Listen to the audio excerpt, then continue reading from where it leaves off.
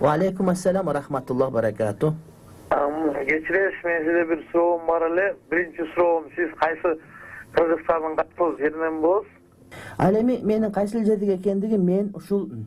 кыргызстандагы эң кооз жер бар. Эң кооз жер бар. Дүйнө жүзүндө эң кооз жер деп айтат элем. Канча көп жерде көрдүм андай жер жок. Бул ошол базар коргон районундагы баймундуз айылында туулуп өскөм э, бизде ушундай э, жайдын күндөрү азыр кандай болуп калды билбейм. э, чаң машина өтүп кетсе бир он мүнөткө чейин мындай бир туман болуп тарабай турган бурулдаган чаңдарыбыз бар. Анан үстүндө каналыбыз бар бул казылбай барып азыр арыктай эле болуп калды. Жайдын күнү сууга түшкөндө суу сүмөлөктөй бото болуп калып анан бетибиз кубак болуп ошентип жүрөт элек. Анан анын үстүндө адырыбыз бар ал жерге азыр үй түшүп кетти мурда. Жанагыдай бир бөдөнөлөр жумурткалар ташбака деген болуп жылан деген болуп бир сонун болот эле. Бирок заман акыр жер такыр болуп азыр баардыгы такыр болуп калды. Адамдардын баардыгы азыр бай болуп кетип баардыгы койдун туягын санап калды ошентип олтуруп айылдын көркү кетип калды бирок дал эле болсо мурдагыдай эле эң бир көрктүү айыл деп айтат элем биздин айылда жаңкак көп болот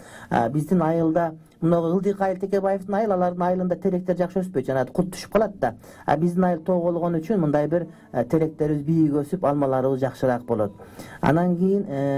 дагы эмне деп айтсам болот экен эми айтор ушундай бир бир жакшы айыл деги эле кыргыз айылдардын баардыгы мен ойлойм баардыгы жакшы айыл деп. Анан жеке мен өзүм өзүмдү базар коргондо деп эсептей албайм анткени мен ошол жалпы кыргызстандыкмын мен кыргызстандыкмын деген түшүнүк ошол мага өтө сиңип калган себептен өзүмдү нарынга барсам таласка барсам жалал абадка барсам же баткенге барсам же ошол эле нарын кат башыга бара турган болсом өзүм ошол жерди сезем анткени эч качан бир э, регионго улутка э, же болбосо башка бир нерсеге бөлө турган касиет бул адамдык касиетин ажыратып кое турган касиет болгондуктан мен өзүмдү кыргызстандыкмын деп гана түшүнүк менен жашап келем. Ушундай экендигине мен чындап эле сыймыктанам анан дагы мен айыл жөнүндө айтып атып өзүмдүн ата энем жөнүндө айтпай калыптырмын айтып бергим келип атат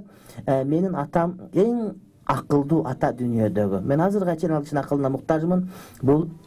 жалилов тажибай деген киши өмүр бою мектепте директор болгон э, эч качан жакасы кир жака кийген эмес мен ошол айылдык адамдарда сейрек кездешкен бул нерсе э, ошол ушундай атам бар экенине мен чындыгында сыймыктанам э, ал эми атам математик мугалими апам англис тилчи мугалим ошол биздин айылыбыздагы көп адамдар англис тилинде сүйлөйт англис тилин окушкан анткени ошол апамдын таасири бар деп ойлойм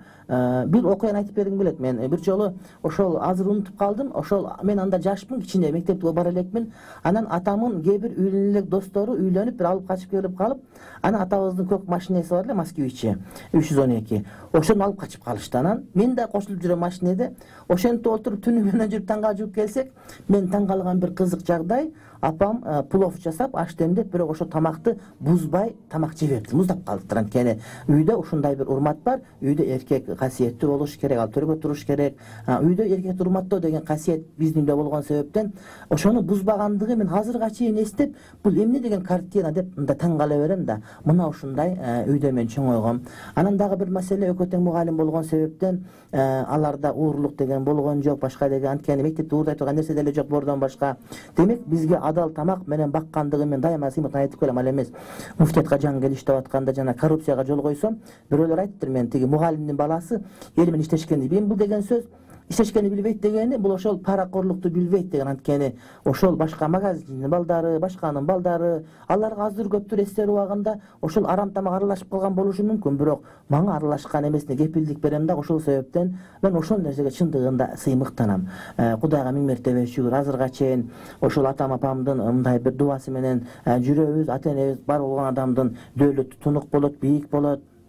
Ал кишилер ошол мугалим айылдык интеллигент үйдө китеп дайыма баркталат мен ошол ушул жерден туруп дагы ата энеме өзүмдүн ыраазылыгымы билдиргим келет балким мен дагы ошо балалык кылып кээде ошол ата энеми капа кылып койгон болсом жалпы журт алдында жалпы кыргызстан алдында мен дагы ата энемден дагы бир ийгилик кечирим сурайм мени кечирип койгон эгерде мен ошондой бир жаш убагымда бешинчи алтынчы классымда балким кайсы бир нерсе менен көңүлүңөрдү оорутуп койгон болсом деп мен ата энемди жакшы көрөм